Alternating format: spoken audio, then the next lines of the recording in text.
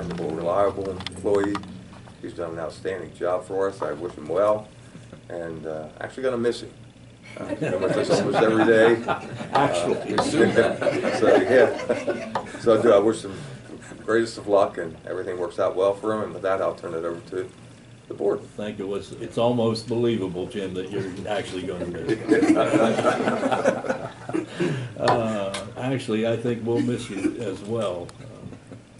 Uh, I don't know, who's gonna get that uh, foster parents dinner together next year? It won't be me. All right, well, uh, why don't we, we have a uh, proclamation for you. Why don't we have Jamie read that first, and then we'll uh, give you an opportunity to make some comments, okay?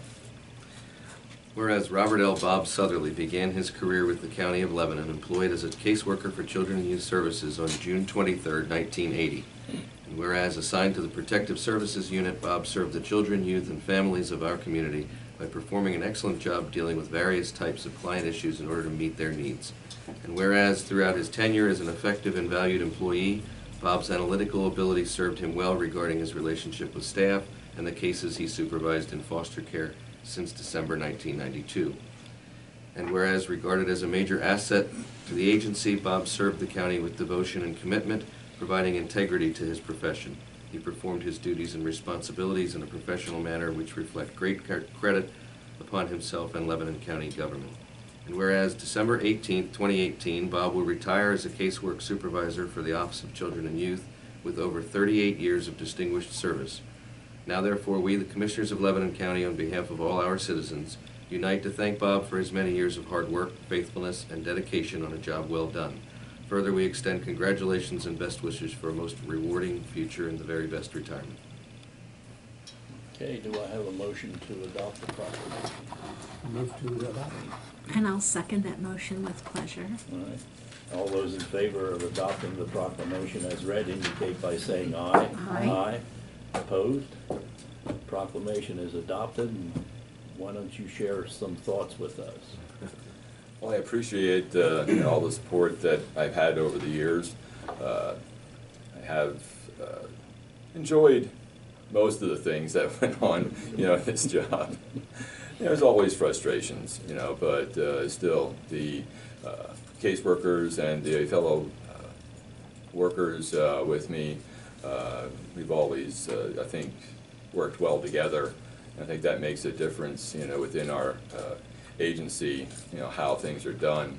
Uh, There's always going to be complaints. I mean, we're the center of, of complaints.